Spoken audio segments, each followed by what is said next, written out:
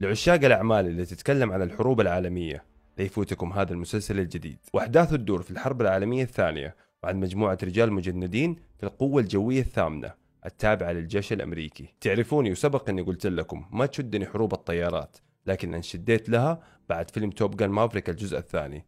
وهذا المسلسل برضو ما كان بسيط. وبعيدا عن القتالات اللي بتصير والإخراج البطل عجبتني الحوارات وكيف إنهم مركزين عليها بشكل كبير في هذا المسلسل. والأداء التمثيلي كان شيء ثاني بطاقم مميز بقيادة الممثل المبدع أوستن باتلر. راح تحس في بطء ال rhythm في أول حلقتين وهذا شيء طبيعي لأنه عندك شخصيات كثيرة ويشرح لك بداية الرحلة لهذه المجموعة. والحلقة الثالثة كانت الدليل بداية قوة المسلسل. وأخيرا مسلسل الحرب والدراما Masters of the Air اللي تأجل من سنة 2023 وصدر في سنة 2024 إلى الآن نزلت ثلاث حلقات وكل جمعة تنزل حلقة على منصة Apple TV.